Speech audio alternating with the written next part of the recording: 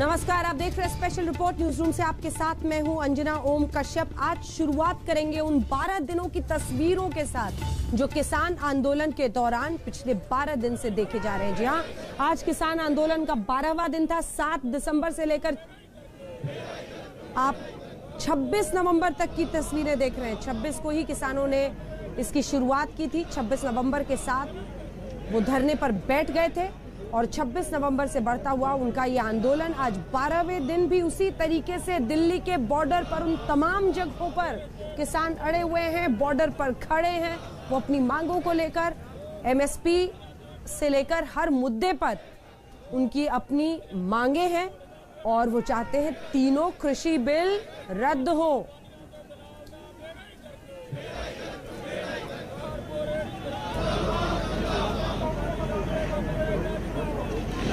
ये आपने 12 दिनों की तस्वीरें देख ली। अब आपको बता दें, एक तरफ़ तमाम विपक्षी पार्टियाँ किसानों के साथ लामबंद हो रही हैं। कल के भारत बंद में समर्थन की बात कर रही है और सरकार दूसरी तरफ़ से उन पर प्रहार कर रही है। आज शुरुआत हुई रविशंकर प्रसाद के साथ, जिसके बाद योगी आदित्यनाथ, उत्तर प्रदेश के मुख्यमंत्री और अब शिवराज सिंह चौहान भी बीजेपी की तरफ़ से मैदान में सामने आए हैं और विपक्ष पर प्रहार ये कहकर कर रहे हैं कि किसानों को भ्रमित किया जा रहा है। योगी आदित्यनाथ ने कहा था कि किसानों के कंधे पर बंदूक रखकर गोली चलाने की फिराक में है विपक्ष।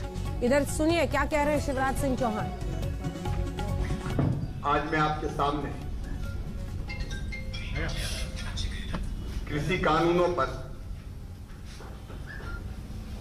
कांग्रेस के पाखंड को उजागर करना चाहता हूँ। न केवल कांग्रेस, बल्कि कांग्रेस के साथ राष्ट्रवादी कांग्रेस, डीएमके, आम आदमी party, Swaraj party, Akali Dal, Samajwadi party, DMC left party APMC model act के बारे में क्या कहती रही है? इसका खुलासा करना चाहता हूँ। कांग्रेस का जहाज़ डूब रहा है और इसलिए किसानों को भ्रमित करके अपनी राजनीति चमकाने का घृणित प्रयास कर रही है। मैं एक पत्र आपके सामने रख रहा हूँ। यह पत्र है श्रीमान शरद पवार जी का, जो मुझे लिखा गया और यह 2011 में लिखा गया 2011 मैं तब भी चीफ मिनिस्टर था मध्य प्रदेश का। शरद पवार जी कृषि मंत्री थे। श्रीमान मनमोहन सिंह जी भारत के प्रधानमंत्री थे। और मैडम सोनिया गांधी जी यूपीए की चेयरपर्सन थी। तो कांग्रेस और कांग्रेस ने क्या पहले अपना स्टैंड रखा था इन्हीं कृषि कानूनों पर, इसी एपीएमसी एक्ट पर। इन सब का ज़िक्र आप सुन रहे हैं तमाम नेताओं, और इस वक्त हमारे साथ सीधा रविशंकर प्रसाद जी, केंद्रीय मंत्री लाइव जुड़ रहे हैं।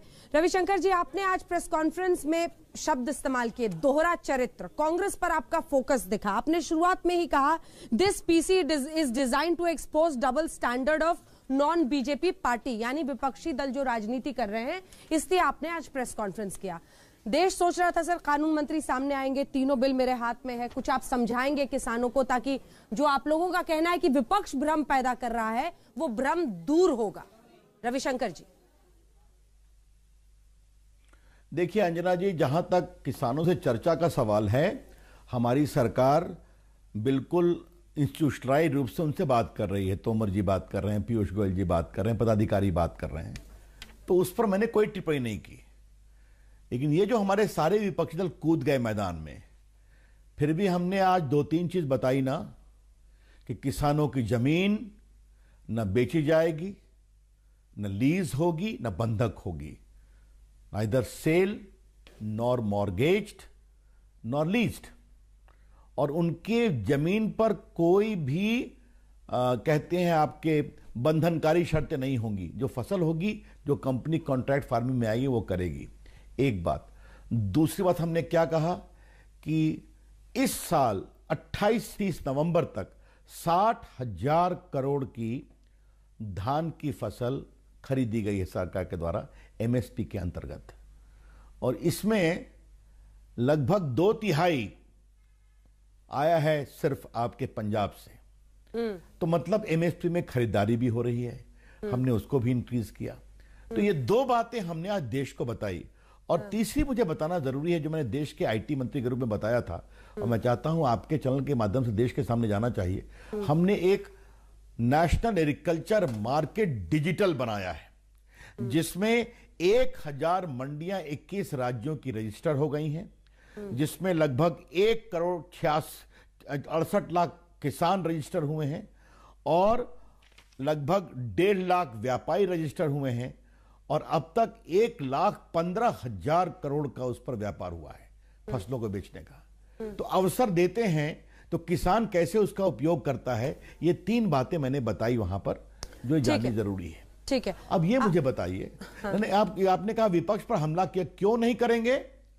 आप विरोध के लिए विरोध करते हैं।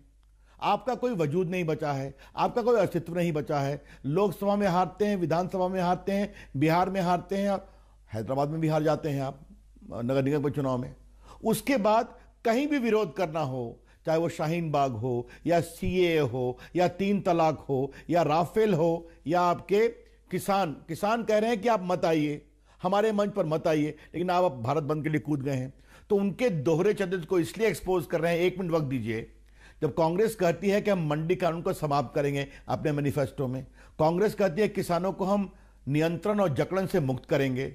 श्रीमान शरद पवार पत्र लिख रहे हैं यूपीए सरकार में सारे लोगों को कि अगर आप मंडी कानून को नहीं बदलोगे तो आपको हम केंद्र से पैसा भेजना बंद कर देंगे। तो उस समय तो सब लोग खामोश रहते हैं। तो ये बातें देश के सामने क्यों नहीं आनी चाहिए मुझे बताइए तो आप। इसलिए कहा दोहरा चरित्र डबल स्टैंडर्ड हिपोक्रेसी शर्मनाक है। तो देश को बताना ज़रूरी था ये। ठीक है, लेकिन आपने कहा कि आपने जो आज शब्द का इस्तेमाल किया था अपने प्रेस कॉन्फ्रेंस में, आपने कहा कि आप करें तो किसानों का कल्याण, हम करें तो आप सड़कों पर आ जाते हैं। अब ये बताइए सर कि आपकी कुछ पुरानी चिट्ठियाँ तो वो भी निकाल कर लाते हैं, जब आप लोग विरोध करते थे।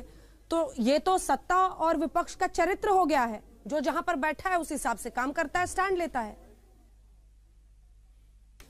देखिए, हमने एक बात और कही अगर आप मेरी पूरी प्रेस कॉन्फ्रेंस को कोट करेंगे तो हमने कॉन्ट्रैक्ट फ़ार्मिंग किस किस प्रदेश में लागू हुई है?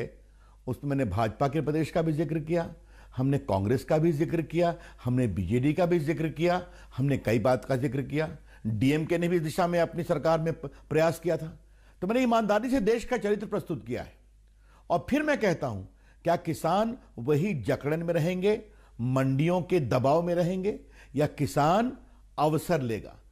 आप देखिए, आज कई अखबारों में ये बातें छप रही हैं। मुझे अच्छा लगेगा, अंजना जी, कभी आप अपने चैनल पर दिखाइए किस तरह से नए नए पढ़े लिखे नौजवान आज शिमला मिर्च की खेती कर रहे हैं।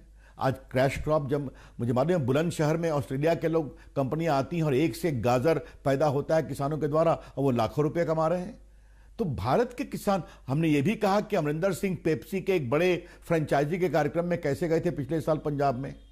तो हमारा खाली कहना है कि किसानों को अवसर दीजिए वो लाखपति बनेगा करोड़पति बनेगा। उसे हम्म। रोका क्यों जा रहा है? कि मंडी के अंतर आओ। ये है बड़े सवाल। और इसलिए मैंने फिर कहा कि अगर हमारे एक प्रयोगात्मक कार्यक्रम नेशनल डिजिटल ई नैम जो है उस पर अगर नेशनल एग्रीकल्चर मार्केट एक देश एक मार्केट वो डिजिटल हम्म। प्लेटफॉर्म पर एक लाख पंद्रह हज़ार करोड़ का व्यापार लगभग अगर हमारे एक करोड़ अड़सठ लाख किसान कर सकते हैं हज़ार मंडियाँ आ सकती हैं तो यह बताता है अवसर क्या है, उस अवसर को आगे बढ़ने दिया जाए। लेकिन सर, आपने पॉलिटिक्स का अवसर विपक्ष को दे दिया क्या? ये सवाल मैं इसलिए पूछ रही हूँ क्योंकि देखिए, आज बारहवा दिन है। इस ठंड में किसान डटे हुए हैं बॉर्डर्स पर। ये कहा जा सकता है कि वो इसका सियासी फ़ायदा उठा रहे हैं कल के भारत बंद का। लेकिन समस्या है तब तो उसका फ़ायदा उठा रहे हैं। वो वो सिचुएशन है। उसके लिए आपकी क्या स्ट्रैटेजी है? क्योंकि वो तीनों कृषि बिल आप चाह रहे हैं कि पीछे लीजिए वरना हम पीछे नहीं हटेंगे। रविशंकर जी। अब ऐसा है इस पर मैं बातचीत चल रही है तो उस पर मैं कोई टिप्पणी नहीं करूँगा। हम्म। इस देश में बड़े किसान कितने हैं मझोले कितने हैं छोटे किसान कितने हैं? अच्छा होगा अगर अंजना जी अपने अनुभव का लाभ उठाकर अपने चैनल पर यह भी देश को ज्ञान देंगी कि देश के 80 परसेंट प्लस किसान छोटे किसान हैं मझोले किसान हैं।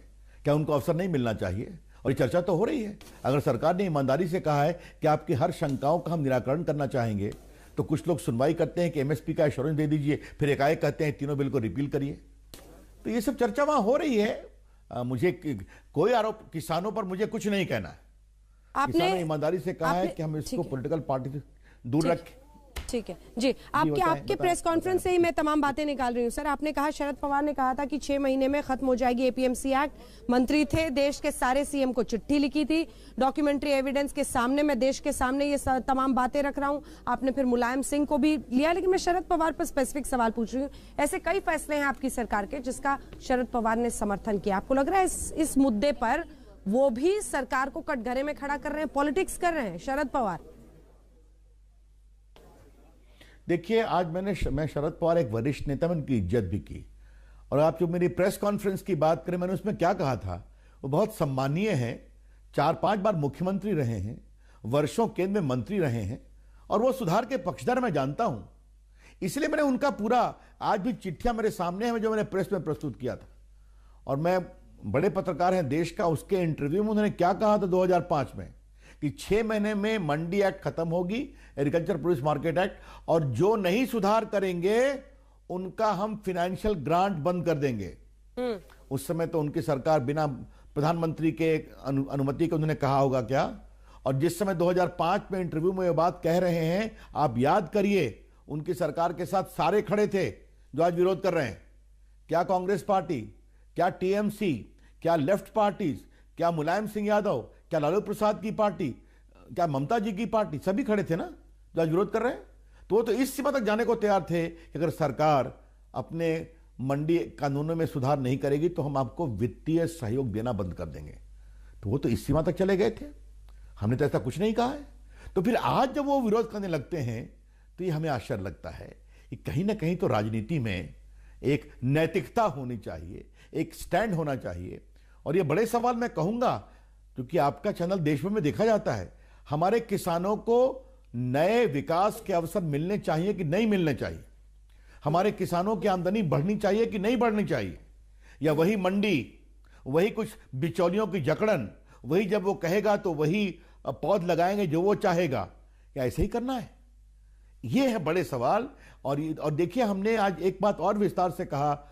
लगभग लाखों लोगों से कंसल्टेशन हुआ है डिजिटली हुआ बिकॉज़ कोविड के कारण। कई दर्जनों कमिटियों ने रिपोर्ट किया। आपको याद करिए कि जब हम लोग इस कानून को लेकर के आए थे तो स्वामीनाथन जी से सवाल पूछा गया तो उन्होंने कहा all these are step in the right direction तो ये तो वर्षों से चल रहा है। और आप जान लीजिए भारत का किसान नरेंद्र मोदी जी पर विश्वास करता है और हमारी सरकार पर विश्वास करता है। इसलिए हम जीतते हैं बार बार जीतते हैं। और उनको लगता है और देखिए एक बात और एक एक मिनट मैंने और बता दूँ। सिर्फ़ यही काम नहीं किया हमने देश में 10 करोड़ किसानों के अकाउंट में लगभग एक लाख करोड़ रुपया भेजा है कि नहीं भेजा अभी तक भेज रहे हैं। दो हज़ार रुपया एवरी थ्री मंथ्स छह हज़ार रुपया, ताकि वो बीज ले, बाकी ले। ये सीधा उनको किया कि नहीं किया है? किसानों के लिए फ़सल बीमा योजना आई है कि नहीं आई है?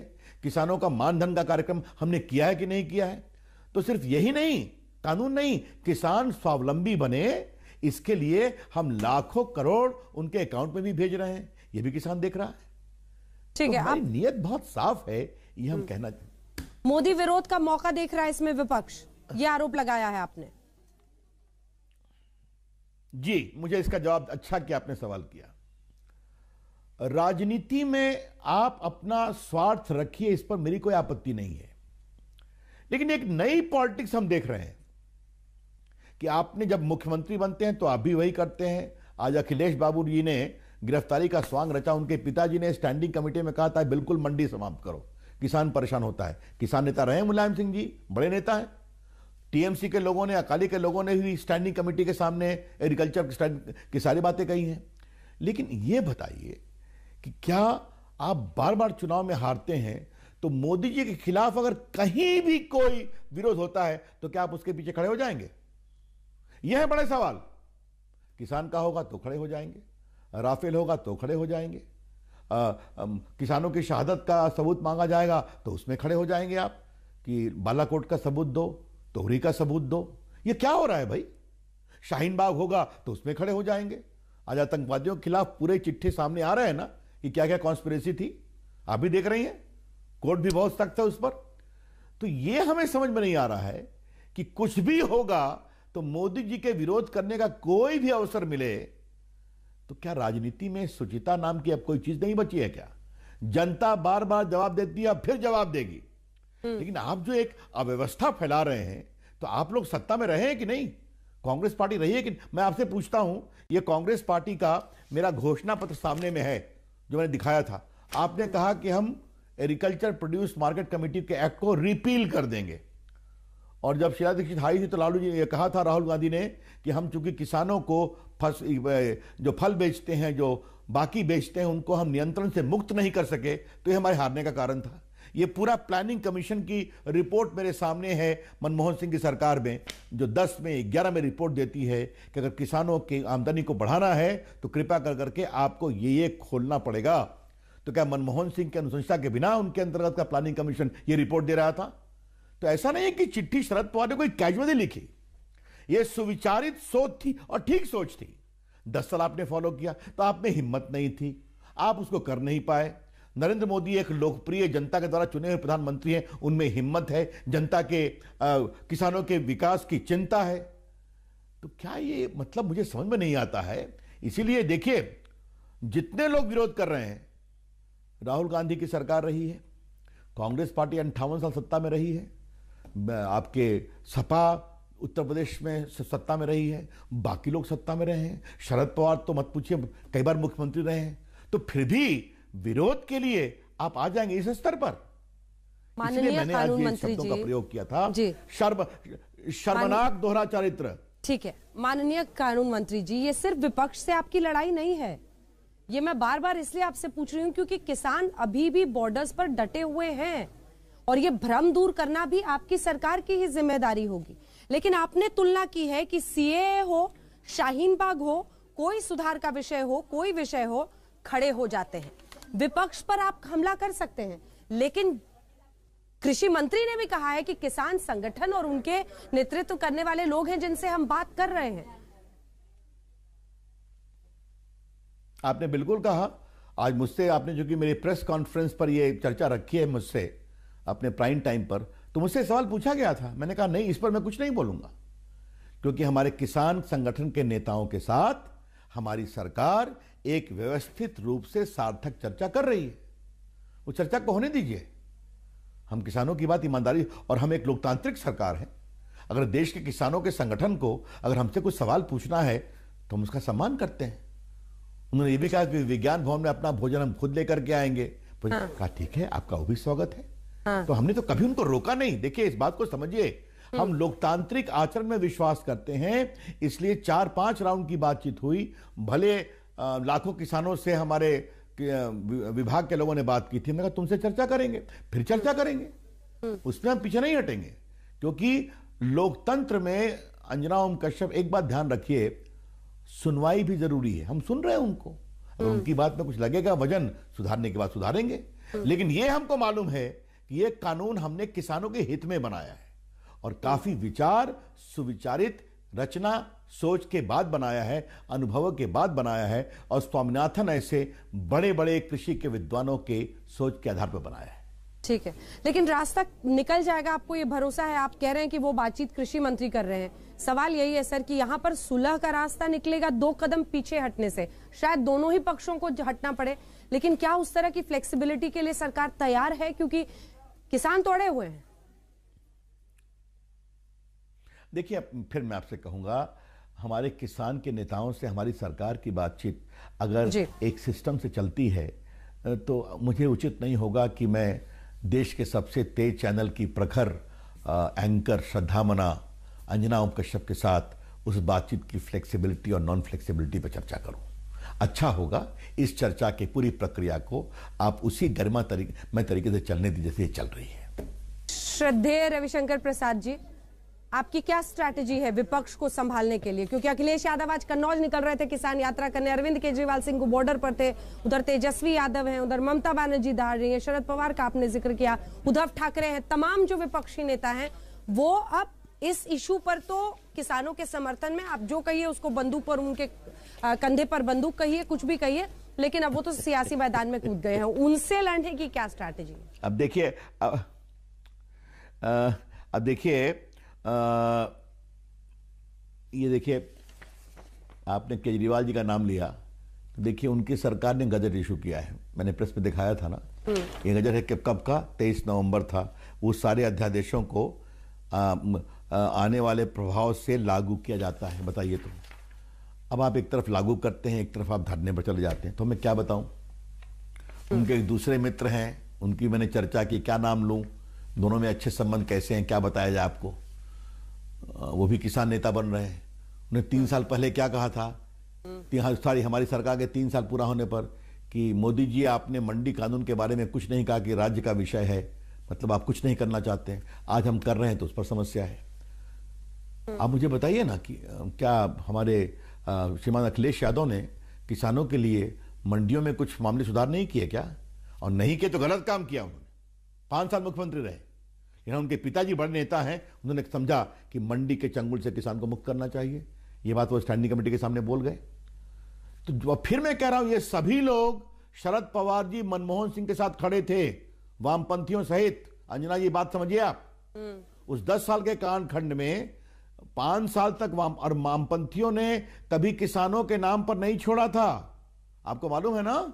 न्यूक्लियर डील के नाम पर छोड़ा था यूपीए की सरकार को। प्रमुख रूप से। लेकिन बाकी तो सारी पार्टियाँ खड़ी थी।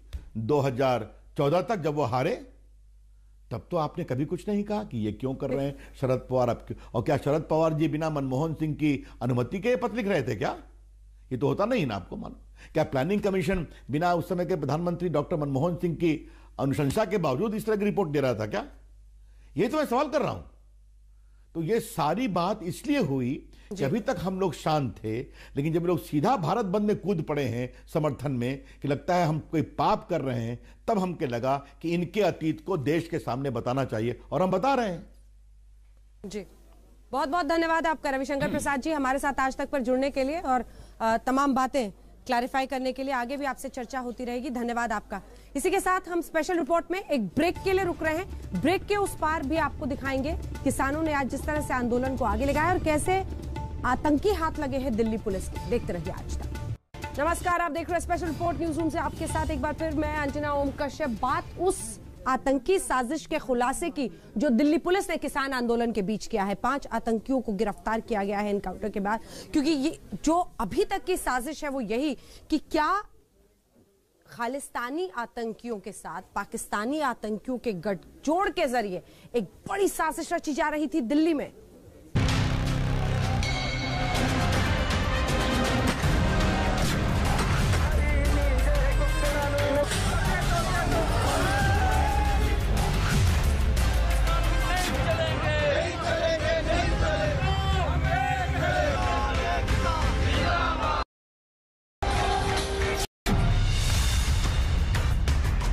कृषि कानूनों के खिलाफ पंजाब से लेकर देश के अलग अलग राज्यों के किसान पिछले 12 दिनों से अपनी मांगों को लेकर अड़े हैं। दिल्ली आने वाले रास्तों पर डटे हैं। सरकार के साथ मीटिंग पर मीटिंग हो रही है, लेकिन बात नहीं बन रही। है किसानों के आंदोलन को कंट्रोल करने के लिए रात और दिन दिल्ली पुलिस भी तैनात खड़ी है। और किसान आंदोलन के बीच दिल्ली पुलिस ने पाँच आतंकियों को गिरफ़्तार किया है। इनमें दो आतंकी पंजाब के खालिस्तान से जुड़े हुए हैं और तीन आतंकी कश्मीर के हैं। अगर ये आतंकी दिल्ली में गिरफ़्तार नहीं होते तो दिल्ली और पंजाब में बड़े नेताओं की हत्या को अंजाम देते। आतंकियों ने किया दो बड़े टारगेट का सनसनीखेज खुलासा।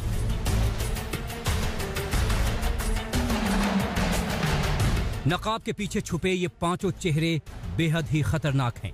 ये वो आतंकी और खतरनाक गैंगस्टर हैं, जिनकी लंबे अरसे से दिल्ली पुलिस को तलाश थी। आज हम आपको इन आतंकियों का पूरा प्लान बताएँगे। इनके आका कौन हैं और ये कौन सी बड़ी साजिश को अंजाम देने वाले थे? सबसे पहले आपको ग्राउंड ज़ीरो पर लिए चलते हैं, जहाँ इन आतंकियों को एनकाउंटर के बाद गिरफ़्तार किया गया। जी हाँ, दिल्ली के शकुरपुर इलाके में। पुलिस और आतंकियों के बीच कई राउंड गोलियाँ चलती हैं। मुठभेड़ होती है। लेकिन आतंकी लाख कोशिशों के बाद भी दिल्ली पुलिस को चकमा नहीं दे पाते और स्पेशल सेल इन पाँचों आतंकियों को दबोच लेती है। दिल्ली पुलिस के हाथ बड़ी कामयाबी लगी है। अल सुबह दिल्ली के शकरपुर इलाके में पाँच आतंकियों के साथ स्पेशल सेल की मुठभेड़ हुई, जिसके बाद कुल पाँच आतंकियों को गिरफ़्तार किया गया है, जिसमें दो पंजाब के रहने वाले हैं और तीन जम्मू कश्मीर के रहने वाले हैं। स्पेशल सेल के सूत्रों के मुताबिक पंजाब के तरन तारन में बलविंदर सिंह संधू जिनकी हत्या हुई थी, जिन्होंने पंजाब में आतंकवादियों के खिलाफ काफ़ी काम किया था, उनकी टारगेट किलिंग हुई थी। उसके मेन शूटर, स्पेशल सेल की टीम ने गिरफ़्तार किया है। इन आतंकियों के पास से एक लाख डॉलर, ड्रग्स और हथियारों के साथ साथ कुछ दस्तावेज़ भी बरामद हुए हैं। दिल्ली पुलिस इन आतंकियों का किसान संगठनों से भी लिंक खंगालने में जुटी हुई है।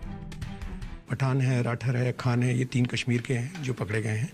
और ये गुरजीत और इसका एसोसिएट सुखदीप है जिनका ये जो पंजाब के पकड़े गए हैं। और इनका नेटवर्क मैंने आपसे फिर कहा कि जो पंजाब के लड़के हैं ये दोनों इनके पीछे सुख भिखारीवाल है। सुख भिखारीवाल के साथ में ऑलरेडी जो पंजाब की एक ज्ञानी ज्ञानी करके गैंगस्टर है एक सुखा गैंगस्टर है जो ऑलरेडी वेरीफाई कर रहे हैं वो जे, जेल में चल रहे हैं। ये उन सब के कनेक्शन में थे ये लड़के। वेपन्स जो हैं इनको सुख भिखारीवाल के इंस्ट्रक्शंस पे सप्लाई किए गए थे। सफिस्टिकेटेड इंग्लिश वेपन्स हैं इनके पास में। और इसके लिए जो पैसा था, वो इस ड्रग्स को बेच के, जो कश्मीरियों ने ड्रग्स बेचा था, वो ड्रग्स का पैसा इनको दिया गया। तो बेसिकली जो मैंने कहा कि ये दोनों कश्मीर और खालिस्तान नेट, इनको कंबाइन करने की कोशिश की गई है। क्योंकि एक आम आदमी इसमें इन्वॉल्व नहीं हो रहा है आम आदमी पंजाब का जो है वो इस आइडियोलॉजी में विश्वास नहीं रखता है। इसलिए इस इस आइडियोलॉजी को हवा देने के लिए गैंगस्टर्स का इस्तेमाल कर रहे हैं क्रिमिनल्स का इस्तेमाल कर रहे हैं। दिल्ली पुलिस के स्पेशल सेल की माने तो इन आतंकियों के आकाओं का प्लान बहुत बड़ा और घातक था। पकड़े गए आतंकियों के नाम हैं शबीर अहमद, अयूब पठान, रियाज राठर, गुरजीत सिंह और सुखदीप सिंह। पाँच आतंकियों की इस गिरफ्तारी से बड़ा खुलासा ये भी हुआ है कि आतंक की दुनिया में अब खालिस्तानी और इस्लामिक आतंकियों का गठजोड़ हो रहा है। भारत के खिलाफ नई साजिश का ये गठजोड़ कैसे हुआ है, आज हम इसका भी खुलासा करेंगे। लेकिन उससे पहले आपको बता दें कि गिरफ़्तार हुए आतंकियों ने पूछताछ में कई सनसनीखेज खुलासे किए हैं। इनमें एक बड़ा खुलासा यह है कि आतंकी के इसी ग्रुप ने शौर्य चक्र विजेता बलविंदर सिंह की हत्या की थी। बलविंदर सिंह संधू के जो एक्यूज हैं मर्डर में, उनकी किलिंग में एक्चुअल जो जिसने किलिंग की थी, जिसने गोली चलाई थी, वो गुरजीत सिंह है जो पकड़ा गया है। और इसके साथ जो दूसरा इसका एसोसिएट है, वो भी रेकी में शामिल था और किलिंग में शामिल था। तो वो नेटवर्क एग्जैक्टली exactly कौन कौन लोग एक्चुअल इन्वॉल्व थे, ये पकड़े गए हैं। कुछ एक तो ऑलरेडी पंजाब पुलिस ने एक आदमी जो है, जिन्होंने शेल्टरिंग वगैरह की थी, वो पकड़े गए पर जो एक्चुअल मेन शूटर है, वो पकड़ा गया है इसमें, जो मेन शूटर्स थे। हम आपको बता दें कि 16 अक्टूबर को पंजाब के तरन तारन में घर में घुसकर बलविंदर की हत्या की गई थी। तब से पुलिस को तीन आरोपियों की तलाश थी। लेकिन ये हत्या क्यों और किसके कहने पर कराई गई थी, आतंकियों ने खुलासा पाकिस्तान से लेकर गल्फ में बैठे आतंक के आकाओं का भी किया है। दिल्ली पुलिस की माने तो फ़िलहाल इन आतंकियों के दो टारगेट थे, निशांत शर्मा और अरविंद गौतम। ये दोनों ही नेता शिवसेना हिंद से जुड़े हैं। और ये दोनों ही नेता खालिस्तानी समर्थकों के खिलाफ आवाज़ उठाते रहे हैं। हम और मैं और मेरा संगठन लंबे समय से आतंकवाद खालिस्तान जिहादियों के खिलाफ लड़ाई लड़ रहे हैं। हमारी हर समय कोशिश रहती है कि देश में शांति बनी रहे।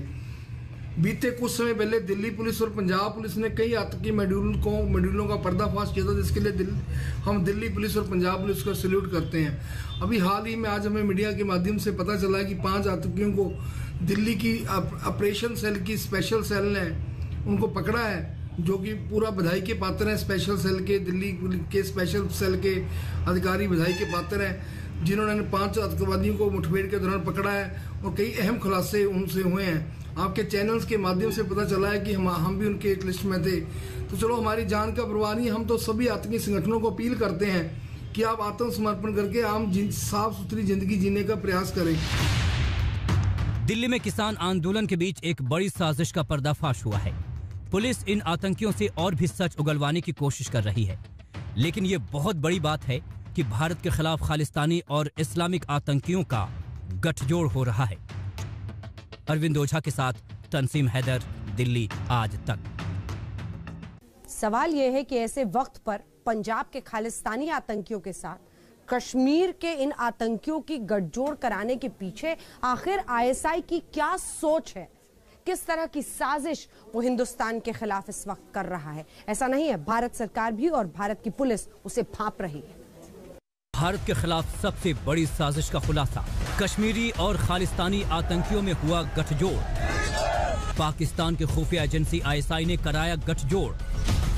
आतंक का इतना खतरनाक संगम पहली बार हुआ है। भारत के खिलाफ कौन सा नापाक प्लान बना रहे हैं आतंकी? इस टाइम हमने एक साथ जो पंजाब का एंगल है, पंजाब में जो टेरर फैलाने की कोशिश करते हैं उनको, और जो टेरर फाइनेंसिंग करते हैं कश्मीर को, उनको एक साथ पकड़ा है। और इससे जो बड़ी चीज़ इस्टेब्लिश हुई है कि देर एक लिंक एक कड़ी पकड़ी गई है जो टेरर फाइनेंसिंग कश्मीर के थ्रू हो रही है, और गैंगस्टर्स के थ्रू किलिंग जो है पंजाब में हो रही है। यानी कश्मीर टेरर और खालिस्तानी टेरर को लिंक करने की आईएसआई की कोशिश जो है वो एस्टेब्लिश हुई है। आतंक का ये नया कनेक्शन बेहद घातक है। तीन आतंकी और दो गैंगस्टर और इनके आका पाकिस्तान और खाड़ी देशों में बैठे हैं और वहीं से घातक और नापाक प्लान बना रहे हैं और आतंक के ये आका भारत के खिलाफ खालिस्तानी आंदोलन को हवा देना चाहते हैं और इसके लिए गल्फ के किसी देश में छुपा बैठा गैंगस्टर सुख भिखारीवाल आईएसआई का मोहरा बना हुआ है। लोग खालिस्तानी आइडियोलॉजी से डिजोल्यूशन है। इसीलिए किलिंग्स के लिए ये पंजाब के क्रिमिनल्स और गैंगस्टर्स का इस्तेमाल कर रहे हैं। जो लड़के पकड़े गए हैं क्रिमिनल्स हैं ये। और इनका जो हैंडलर है, वो गल्फ में बेस्ड है, सुख भिखारीवाल। और सुख भिखारीवाल के पीछे अगेन आईएसआई बैठी हुई है, जो उसको हैंडल कर रही है। फर्दर जो कश्मीर के ये तीन लोग पकड़े गए हैं, ये ड्रग्स का काम करते हैं और ओजीडब्ल्यू हैं ये हिजबुल मुजाहिदीन के और इनके कनेक्शन हिजबुल मुजाहिदीन में मीडिया रिपोर्ट्स के मुताबिक पाकिस्तान में खालिस्तान जिंदाबाद फोर्स का Ranjeet Neeta self style don है और भारत की मोस्ट वांटेड लिस्ट में इसका नाम है। बताया जा रहा है कि रंजीत नीटा ने पंजाब के कुख्यात गैंगस्टर भिखारीवाल को काम सौंपा था और पंजाब के जो दो आतंकी पकड़े गए हैं, वो भिखारीवाल के गुर्गे बताए जा रहे हैं। कहा जा रहा है कि भिखारीवाल ने ही दिल्ली में पकड़े गए पंजाब के दोनों आतंकियों को बलविंदर सिंह की हत्या की सुपारी दी थी। यानी बलविंदर सिंह की हत्या की साजिश पाकिस्तान से रची गई थी, ताकि यहाँ अमन चैन को खराब किया जा सके। यह है कि किस तरीके से जो आईएसआई है, किस तरह से पंजाब में जो खालिस्तान मूवमेंट है, उसको ज़िंदा करने की कोशिश की जा रही है, लेकिन पंजाब के लोग उसे सिरे से खारिज कर रहे हैं, इसलिए गैंगस्टर का इस्तेमाल कर रही है आईएसआई जो पाकिस्तान में खालिस्तानी आतंकवादी है और आईएसआई के ऑफिशियल वो मिलकर गैंगस्टर हायर कर रहे हैं। उसके बाद किस तरीके से बलविंदर संधू की टारगेट किलिंग की गई?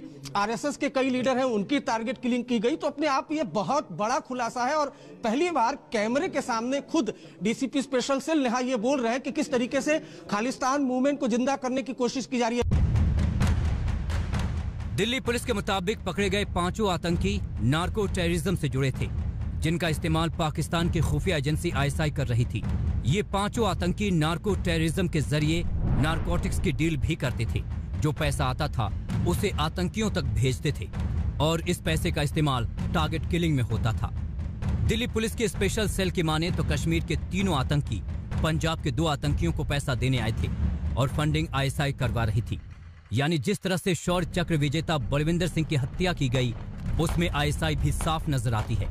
क्योंकि आतंक के खिलाफ शौर्य चक्र पाने वाले बलविंदर सिंह बड़े योद्धा माने जाते थे। आतंकवाद के दौर में पंजाब के तरन में बलविंदर सिंह अपने घर से बहादुरी से आतंकियों से लोहा लेते थे। तरन तारन के कस्बे भिखीविंड में बलविंदर सिंह ने खालिस्तान कमांडो फोर्स के आतंकी परमजीत सिंह पंजवड़ को कड़ी चुनौती दी थी। 1980 से उन्नीस सौ तिरानवे के बीच बलविंदर सिंह के घर पर 11 बार हमले हुए, लेकिन हर बार उन्होंने आतंकियों का बहादुरी से मुकाबला किया, इसलिए वो आतंकियों के हिट लिस्ट पर थे।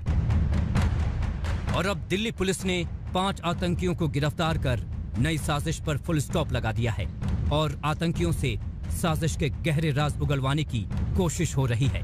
अरविंद ओझा, दिल्ली, आज तक। इस खबर पर रहेगी हमारी नज़र। हम एक ब्रेक के लिए रुक रहे हैं, लेकिन ब्रेक के उस पर आपको दिखाएँगे। अयोध्या का रेलवे स्टेशन बदला। नाम बदला है, क्या होगा नया नाम? ब्रेक के बाद।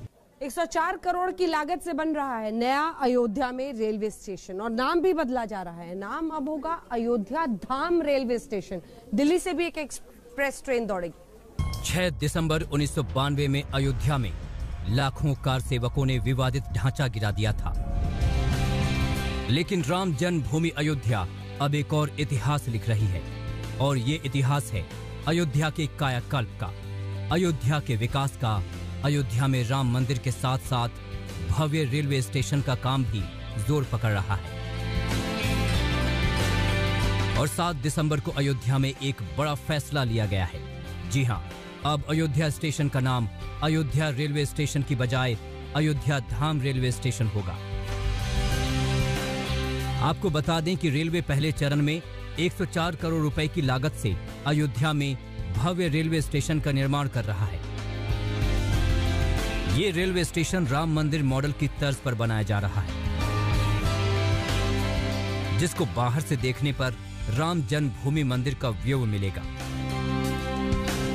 अभी हाल ही में फैजाबाद जंक्शन का नाम बदलकर अयोध्या कैंट करने का प्रस्ताव भेजा गया है।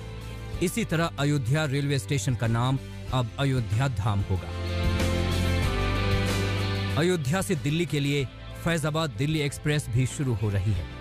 बनवीर सिंह अयोध्या आज तक। स्पेशल रिपोर्ट में इतना ही। देश दुनिया की बाकी खबरों के लिए आप देखते रहिए आज तक। नमस्कार मैं हूँ अंजना ओम कश्यप हमें उम्मीद है ये वीडियो आपको पसंद आया होगा। लेटेस्ट खबरों के लिए यूँ ही देखते रहिए आज तक और इस वीडियो के पसंद आने पर लाइक शेयर एंड सब्सक्राइब करना ना भूलें।